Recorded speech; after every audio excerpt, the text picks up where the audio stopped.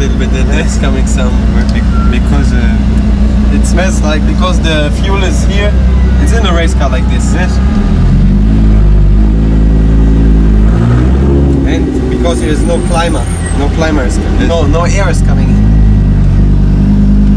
Normally when I race with this car, we have 80 degrees in the car, like a you know like a sauna. You know what is sauna? Where you go inside where it's really really hot.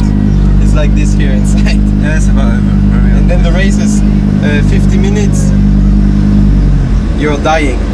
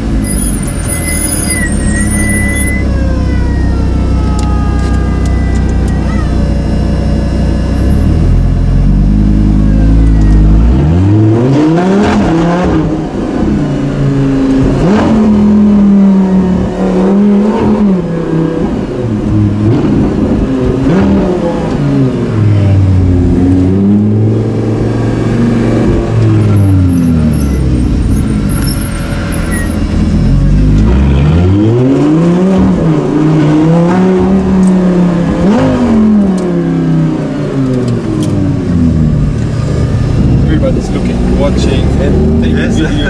everybody.